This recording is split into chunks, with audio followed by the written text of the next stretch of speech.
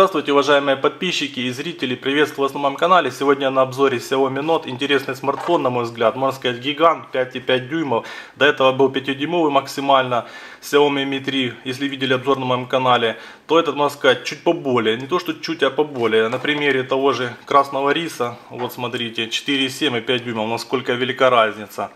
Ну, конечно же, дисплей выделяется. Здесь более темный, можно сказать, черный, насыщенный. Не знаю, видно ли нет, но на красном рисе он такой немножко сероватый, цвета более бледные. То здесь необычное покрытие, такое, можно сказать, темное. Покрытие леофобное, конечно, присутствует. То есть легко вытираются отпечатки пальцев. На примере видим, я оставляю отпечатки пальцев, если видно то легко не вытирается обычной тряпочкой, буквально два раза взмахнули, и здесь все идеально, можно сказать, идеальнейшее стекло. Это плюс данного смартфона, то есть будет отталкивать жир, влагу, потные руки и так далее. Ну и стиль, конечно же, панда, двухцветный, то есть тыльная сторона в белом цвете, имеет необычное вкрапление, еле заметно перламутровое, как на Huawei Honor 3C можно сказать, с одной стороны ангел такой беленький, пушистенький, но никак он не выглядит дешево, видно, что здесь все добротно собрано, сборка на пятерку, все идеально, ни люфтов, никаких скрипов здесь не может быть, я его тестировал практически неделю, здесь все идеально. И на передней стороне, можно сказать, более агрессивное лицо, имеет черный монолитный цвет, фронтальная камера расположена, динамик для прослушивания, три кнопки программные, основная кнопка меню, домой и назад, кнопки с подсветкой, тем самым не намекая, что это бюджетность какая-то, как в красном рисе и так далее. Кнопки яркие, видны хорошо и днем, и ночью. Меру тонкие рамки, то есть около 4 мм, не кажется слишком тонкими, но не такие толстые, как опять же в красном рисе. Первое ощущение, то есть тактильное, когда берешь смартфон в руки, э, самое правильное морское чувство, когда вы покупаете или просто берете смартфон в руки для ознакомления, если вам он уже нравится, то это, можно сказать, уже правильное направление. Первое чувство, как говорят, самое правильное, то есть когда покупают какую-то вещь или там смартфон, к примеру, машину, если уже вам что-то нравится в машине, значит это уже, можно сказать, правильное направление. Так как и смартфоном. Я его в руки когда взял, у меня уже, можно сказать, было ощущение, что это именно то, что нужно. Смартфон вызывает позитивные чувства, то есть чувство доверия, уверенности. В данном случае это все присутствует. Смартфон выглядит, конечно, красиво. Углы завалены, тем самым в руках держать его удобно. Он не такой острый, можно сказать, как Xiaomi Mi 3 это хорошо, не такой толстый в меру, порядка 8 мм, при том, что батарея тоже объемная. Вот здесь открывается от гнезда, то есть слегка придавливаем и открываем крышку. Легонечко открывается, несложно. Крышка тоже белая, обычная, стандартно, слегка гнется, то есть в меру. Кнопочки программно тоже все стандартно находится на прежнем уровне, то есть на правом торце, если мы так держим кнопкой включения смартфона, то есть блокировка смартфона и разблокировка, и качелька громкости. Все металлизировано, но пластик, к сожалению. Можно на эту кнопку, то есть качельку громкости, задать разблокировку самого смартфона, то есть пробуждение. Это плюс данной компании. Логотип MIUI утоплен в пластиковую крышку, то есть не сотрется и в металлизированной такой отделке. И решетки под динамик. Динамик громкий, чуть позже продемонстрирую.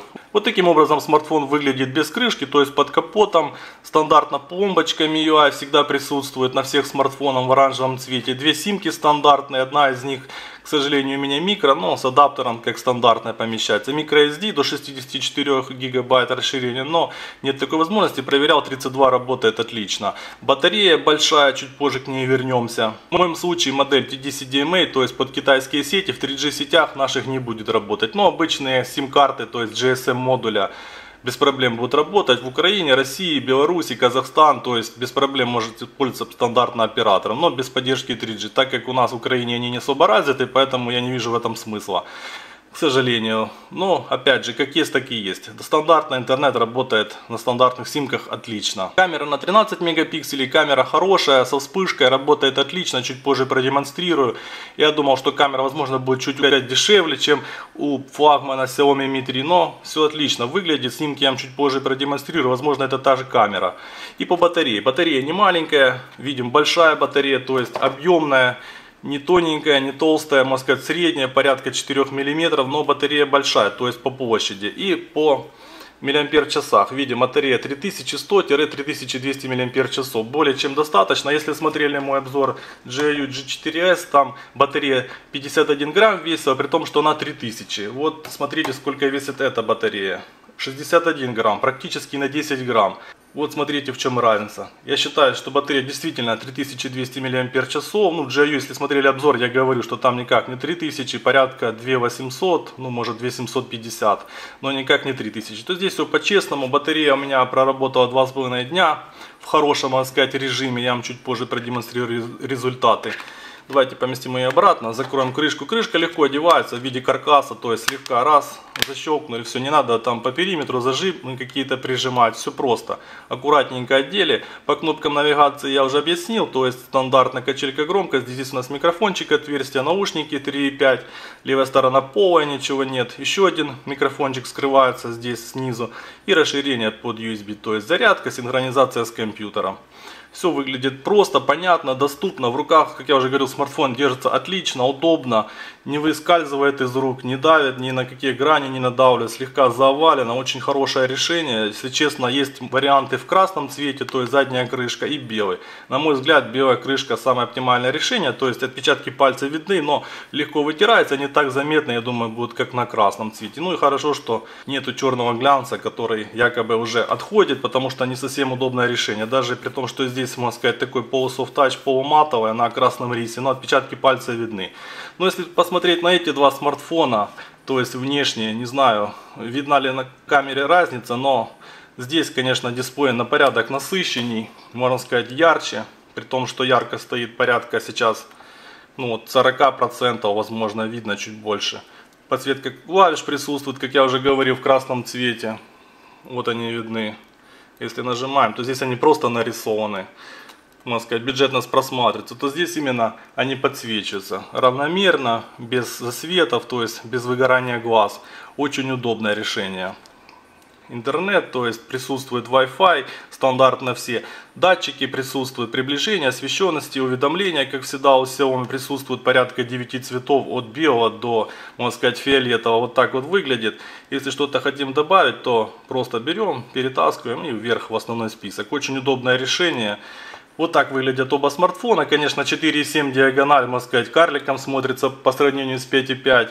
Но и дисплей здесь намного интереснее. Здесь более цвета такие, можно сказать, ну, не сказать, что они бледноватые, но нет такой насыщенности, как в этом смартфоне. Дисплей IPS выполнен по технологии OGS, это плюс данного смартфона, то есть без воздушной прослойки. Для глаз более приятно, можно так сказать.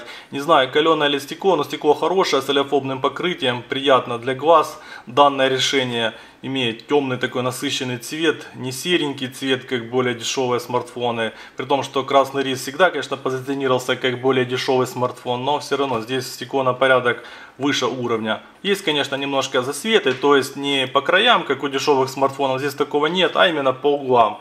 Конечно же, здесь не TPS, но не знаю, видно или нет, но слегка присутствует, можно сказать, в таком белом цвете, засвеченном серые цвета, но при прямом просмотре, как многие мы пользуемся смартфоном, такого, конечно, не наблюдается. Отличный дисплей, мне очень понравился, яркие подсветки клавиш, давайте по настройкам посмотрим. Здесь все стандартно в основном, как у Xiaomi, два подпункта основные и много, можно сказать, основных пунктов. Видим название девайса, Redmi Note модель, 4.2.2 версия Android, CPU видим 1.4, то есть немножко урезанный с логотипом M. Основной был до 1.7 МТК 6592, это до 1.4. 1 гигабайт RAM памяти, 8 встроенной памяти, ну, версия ядра и основная. Есть обновление системы, но пока ничего не было найдено. Я тоже изначально, когда получил телефон, думал, хватит ли 1 гигабайта. В принципе, хватает на все нужды, есть очистка кэш, очень удобно можно как стандартно по кнопке, то есть видимо у нас остается порядка 400 мегабайт. Или есть программы для более детальной очистки security, здесь более детально чистит кэш, всевозможное то, что мы запускали. Память подчищает, очень удобное решение, буквально за секунды оптимизировали, очень быстро помогает. Также есть по настройкам на вируса проверить, можно по батарее, множество настроек. Можно задать стандартное по дефолту, более щадящий режим в моем случае. Я поставил на перформанс, есть вот такая вот технология в настройке самой батареи. Сейчас продемонстрирую. Вот так вот заходим в батарею. Здесь есть щадящий режим, то есть CPU Power Saving, если вы не пользуетесь более сложными приложениями, то есть игры не играете и так далее, то лучше ее, конечно же, включить, очень удобно. Тем самым не напрягая ядра, будет задействовано буквально пару ядер. Если собираемся играть в игры или что-нибудь более тяжелое запускать, то, конечно, лучше ставить именно производительность никак не меньше запускать. Можно и по батарее поставить перформанс, то есть максимально высокая производительность. Из коробки все, что надо было уже установлено, то есть Play Market рабочий, всевозможные приложения, все, что надо, можно уже запускать, пользоваться. Звук всегда у Xiaomi был приличный, то есть и внешний динамик, и в наушниках, на примере продемонстрирую, как работает внешний динамик. Я считаю более чем достаточно не тихо, не громко, можно сказать, на средних настройках, но довольно-таки уверенно. И звук такой с легким эффектом басов, не знаю, слышно ли на камере. Но слышно довольно-таки громко. А в наушниках всегда Xiaomi выглядят, можно сказать, выше на уровень, чем все остальные смартфоны. Звук отличный, с легким эффектом басов, частоты прослушиваются. Даже обычные стандартные стоковые наушники очень прилично звучат. Не говоря уже о Xiaomi Piston и так далее, всем известные от компании. Давайте, друзья, наверное, начнем с теста Antutu Benchmark в первую очередь. Китайское приложение, если кто не знает, очень удобно работает. Конечно, не всегда корректно отображает по датчикам, но в основном китайские приложения всегда показывают правильно, честно. Видим, набирает 24272, Xiaomi Redmi Note. Более подробно посмотрим по настройкам. Видим Xiaomi, Redmi Note 422 версия Android, MTK 6592, Mali 450. MP, можно сказать, более новый видеоускоритель, разрешение дисплея 1280 на 720, HD камера 13,1 мегапикселя, хорошая камера, чуть позже продемонстрирую. Память у нас 1 гигабайт АЗУ и якобы как 8 гигабайт внутренней, но остается нам порядка 6 гигабайт. И частота ядра видим до 1,4, то есть 1365 МГц, 8-ядерный, конечно же, процессор, архитектура ARM, почему-то обозвали матрицу TFT, хотя матрица IPS, 5,5 дюйма, 320 точек DPI, 5 мегапикселей камера фронтальная, ну, по ощущениям где-то порядка около 3. Разрешение видео, то есть при записи максимально Full HD. Камера с температурой видим 2,2, неплохо для данной камеры, охват неплохой, то есть температура 34 градуса на процессоре, в меру греется, телефон весит 199 грамм, ну я проверял там практически разница в 2 грамма, при том, что батарея у нас, как видели, не маленькая, вот так вот, если на весы прикинуть. Давайте, наверное, еще посмотрим CPU-идентификатор. Программа, можно сказать, более точная, но она повторяет Antutu, то есть все по-честному. MTK 6592, видим 8-ядерный процессор с частотой до 1.4, 1 ГБ RAM памяти, Mali 450, здесь все по-честному. О процессоре MediaTek, дата производства, Mali 450, версия Android в процентах соотношения батареи, ну, можно сказать, температура 35 градусов на процессоре более детально о процессоре Cortex и рейтинг процессоров от стандартных до более заряженных, можно сказать, мобильных Snapdragon и так далее.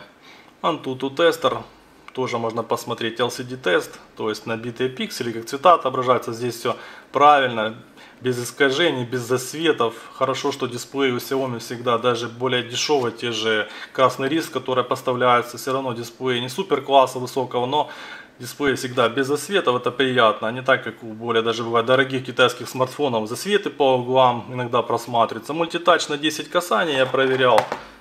Возможно, не поймает 10, так как вот есть 10 касаний. Видим, здесь все по-честному, более чем достаточно.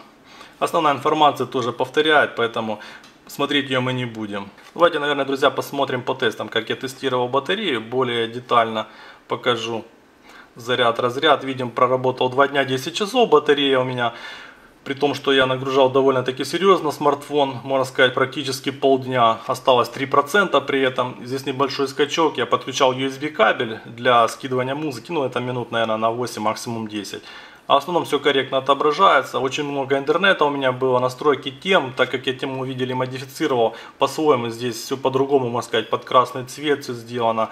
Щадящий режим сделал, то есть ничего лишнего. Клавиатура продемонстрирую тоже в темном цвете. Вот таким образом видим, сколько дисплей проработал. 7 часов 2 минуты, я считаю, очень хороший показатель, при том, что осталось еще 7%. Видим здесь уже 4%, как работал. И при этом не включенный был щадящий режим, то есть работал на полную, то есть максимальная нагрузка на ядра, если это было включено, то еще, можно сказать, было бы более экономно. И по навигации. Навигация тоже работает отлично, вот возле окна, я не на улице, просто возле окна стоял, поймал 4 спутника и очень высокий видим показатель, то есть прием 40-44, максимально 45 было.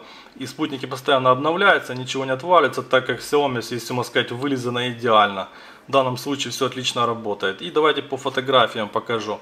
Видели вы, наверное, мой обзор на Xiaomi Mi 3. Я показывал, как работает фокусировка, то есть не подгоняя ее. В данном случае, видите, я направил на прищепку, как это было показано в Xiaomi Mi 3. Просто на прищепочку, она фокусируется конкретно на прищепке. Если я чуть выше поднимаю, буквально на там пару миллиметров до 5 миллиметров, фокусируется задний план.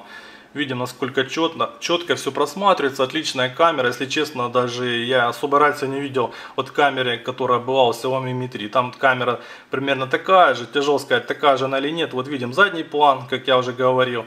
У GU G4S, если видели мой обзор, как я не пытался сфокусироваться на этой прищепке, она просто не хотела на ней фокусироваться, только задний план. То есть здесь, конечно, камера отлично работает, здесь не Omnivision, здесь хорошая камера.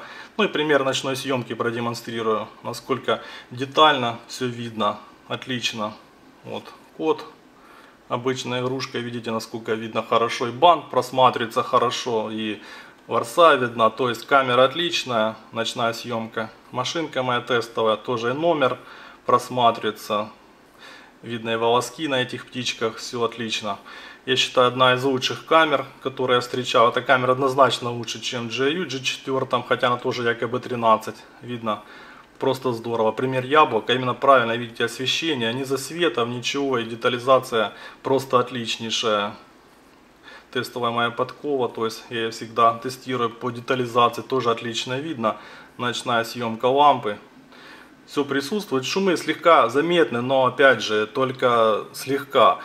А в основном выглядит просто отлично. Снимки видео я вам продемонстрирую. Вот пример на улице, как снимает камера. Правильное освещение, даже вот цветок, насколько детализировано. Такое ощущение, что снималось на зеркальную камеру. Просто здорово. Вот структура даже лепестка, видите, насколько отлично. И именно веточку видно, не видно заднего плана того, что именно то, что надо мне, то и фокусируется. Я считаю, отлично снимает камера. Вот, iPad тоже на кухне, брат. Новости смотрел. Клубника. Тоже отлично видно. Ворсинки видно. Замечательно, я считаю, камера снимает. Для тех, кто рассматривает как камеру, отличнейшее решение. И пример с балкона, порядка 100 метров, возможно даже дальше. Вот, аптека тоже видно отлично. Я считаю, здорово. Для такой камеры макросъемка. Вот спичечка, прям видно, насколько эта древесина просматривается. Ну и пример прищепки мы уже видели.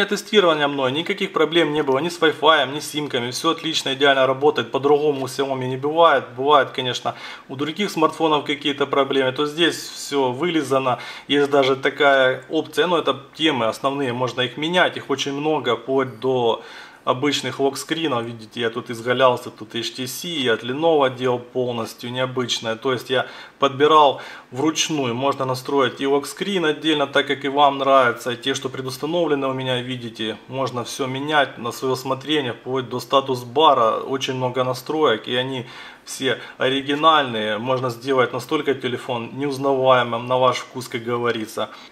Вот такая вот штука есть, сейчас покажу, если найду.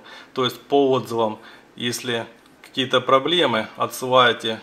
Ну, это по защите, вот, фидбэк, вот такая вот система у вас, если плохо работает, проблемы с сетью, или еще чего-то, с звонками у вас проблемы, оставляйте отзыв, это хорошее решение, так как люди всегда работают, обновляют свою систему. Поддержка, я считаю, лучшая у MIUI из тех, что я встречал, у китайских смартфонов, конечно, ни у кого такого я не видел. Это, я считаю, лучшая поддержка и настолько вылизана операционка, можно сказать, из андроида сделали такую необычную оболочку с таким такими вариантами настроек. Здесь столько всего много нового, необычного, вплоть до световой индикации, как я уже говорил, до 9, по защите, по блокировке, есть множество настроек по доступу, то есть кто вам будет звонить, по спаму, там присылать всякие смс там, к примеру, Киевстар, Live, там всякую ерунду, там мелодии там установите, можно это все забамить, заспамить, то есть заблокировать, чтобы это никак не приходило вам и даже не напрягало вас. Очень хорошее решение. Фонарик тоже, можно сказать, неплохой, в меру яркий, не очень яркий, но более чем достаточно, видите. Светит хорошо, освещает отлично, не за светом, не надо его подстраивать. Работает просто отлично, можно сказать, более чем достаточно. Звонилка выглядит вот таким образом. Я изменил, то есть в темном фоне поставил, более привычный мне, нежели яркий белый, как у iPhone, такой чем-то необычный был. Тоже можно настроить и звуковые всякие эффекты, пианино и так далее. Очень удобно все сделано. Анимация тоже плавно работает, быстро. Я считаю, более чем достаточно. Музыку отсюда можно загрузить. Можно загрузить просто из блокировщика. То есть вот так вот, кто не знает, включается обычно смартфон двойным табом. И отсюда запускаете музыку. Очень удобно. Отличное решение. Или просто разблокировать вот таким вот образом. Друзья, восьмой асфальт, максимальная графика, продемонстрирую. Вот видим высоко, то есть максимальная графика. На одном гигабайте RAM памяти более чем достаточно. Игра играется отлично. Если видели мой обзор на GIU, опять же G4, там 2 гигабайта RAM памяти, 16 встроено, но при тех же примерно характеристиках, даже процессор, можно сказать, чуть побыстрее. Игра работала не плавно, но это, можно сказать, адаптация, так как у GIU иногда бывают проблемы прошивками, вот, то Xiaomi, конечно, здесь все намного проще, можно сказать, более вылизано. Видим, отлично работает, максимальная графика. При одном гигабайте и плюс при таком разрешении, можно сказать, HD более чем достаточно. Здесь не нужен Full HD дисплей. Игра работает стабильно, от 20 до 35 кадров более чем достаточно. Видим, отлично работает, все эффекты присутствуют. Максимальная графика. Всегда приятно, когда берешь смартфон в руки, и он уже из коробки, то есть не лагает, не надо ничего допиливать в нем. В данном случае, видим, все отлично работает, без всяких, можно сказать, танцев с бубнами. Более чем достаточно. Оба, кто-то там в воздухе взорвался. Ну, это на уничтожение. Видим, отлично работает игра на максимальных настройках. На большой диагонали более приятнее играть в такие игры. То есть при большой диагонали всегда приятней. Не так как на 4-дюймовом четверть экрана закрываете пальцами, то здесь все отлично выглядит. Более чем достаточно. Видим, отлично. Эффекты все присутствуют, даже при том, что 1 гигабайт RAM памяти. Игра никак не тормозит, не напрягает процессор. Так что, кто рассматривает для игр, могу смело рекомендовать. Данное решение отличнейшее. Есть, конечно, конкуренты, Lenovo 850+, но там дисплей намного проще. Камера там всего 5 мегапиксельная. А в данном случае, конечно, разница всего порядка 40-50 долларов, но эти 40-50 долларов отлично, можно сказать, вписываются в стоимость смартфона. То есть цена-качество, вы получаете замечательнейшее решение, производительную батарею, видим, в игрушках просто замечательно все выглядит. При том, что железо, можно сказать, никак не слабенькое, отлично, здорово. Какой-то зомбак подкрался сзади. До свидания. И вот давайте посмотрим, сколько у нас осталось. Видим, у нас осталось 140 мегабайт, при том, что играли игрушку тоже довольно-таки тяжелая, нелегкая. Как я уже говорил, можно security очищать вот таким вот образом.